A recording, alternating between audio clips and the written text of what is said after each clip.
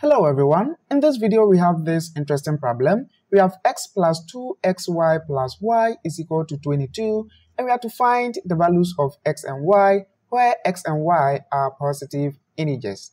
But before we begin, you know the deal already. Pause the video and try first. And if you're new here, consider subscribed and also don't forget to like this video. Now let's get started. Now I think the easiest way to start with this problem is to use factorization method. But if you look at the left-hand side of the equation, you can see we have three terms, which will make the factoring a little bit difficult.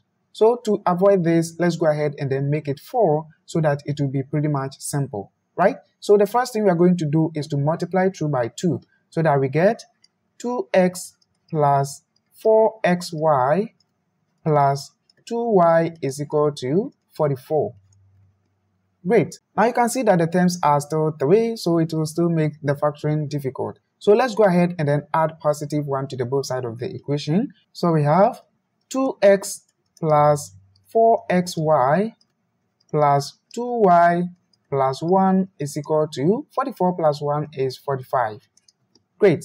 Now you can see we have four terms over here, so we can easily factorize. We have 2x here and then 4xy here. So this means we can take 2x common. So we have 2x into 1 plus 2y, then plus, and we can put this one in brackets. So we have 2y plus 1 over here, and this is equal to 45.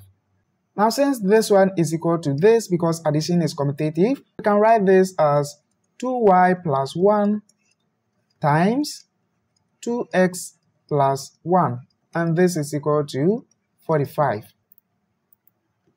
Now remember, the right hand side is never equal to 0, so we can say that 2y plus 1 is equal to 45 or 2x plus 1 is equal to 45. No. Now, here's the deal. 45 could be written as 3 times 15.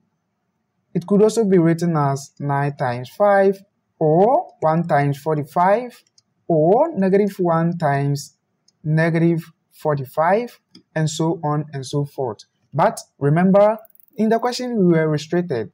x, y are positive integers. What does that mean? It means that x and y should be greater than or equal to 1. But from this equation, 2x plus 1 should be greater than or equal to 3, and then 2x plus 1 should be greater than or equal to 3 for us to get x and y to be a positive integers.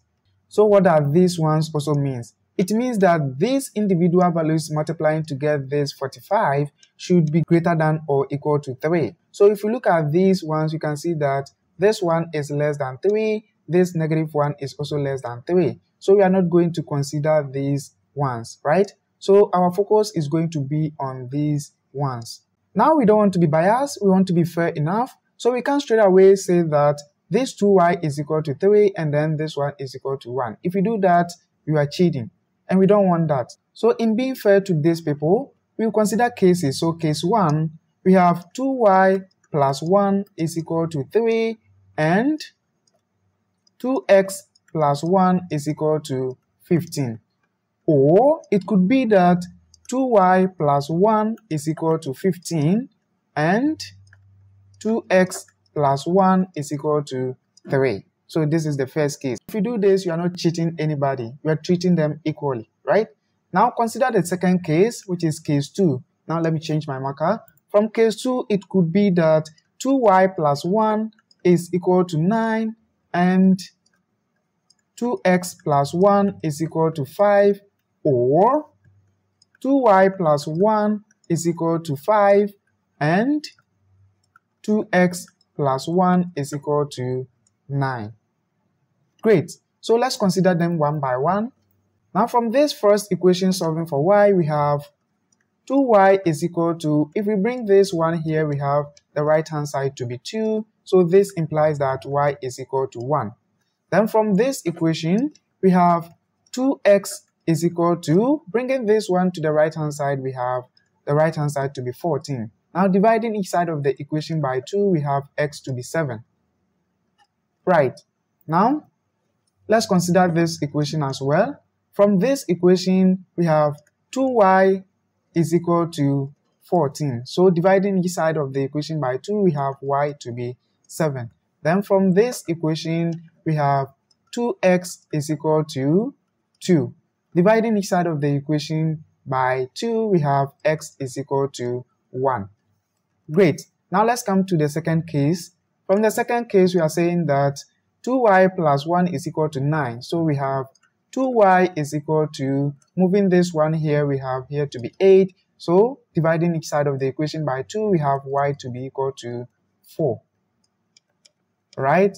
y to be equal to 4. Then, then let's come to this equation. We have 2x plus 1 is equal to 5. So moving this one here, we have 4 over here.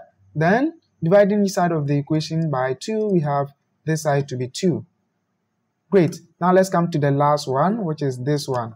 So from the last one, we have 2y plus 1 is equal to 5. So it means that we have 4 here. Dividing each side of the equation by 2, we have y to be equal to 2. Then from the last one, we have 2x is equal to 9. Then moving this one here, we have the right hand side to be 8.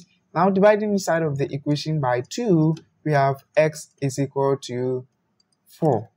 So in all, you can see that x, y is equal to, when x is equal to 7, we have y to be 1. Then from here, when x is 1, we have y to be 7. Then from this side, when x is equal to 2, we have y to be 4.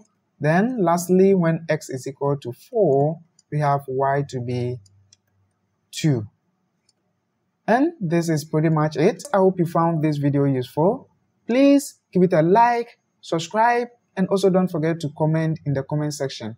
Thanks a lot for watching. Have a nice day and see you again on the next video.